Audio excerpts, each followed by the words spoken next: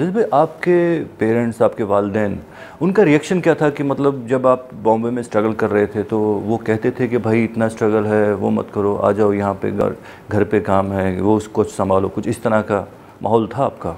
जब उन्हें पता चला कि मैं फ़िल्मों में काम करने के लिए बम्बई गया हूँ तो उन्होंने मुझे आग कर दिया। नौ साल तक मुझसे कोई ताल्लुक़ नहीं रखा। न उन्होंने एतराज़ किया, ना शाबाशी दी न वो मेरे लिए फ़िक्रमंद हुए और ना मुझे डाटा डपटा। उन्होंने कहा कि तुम्हारी ज़िंदगी है, बाढ़ में जाओ।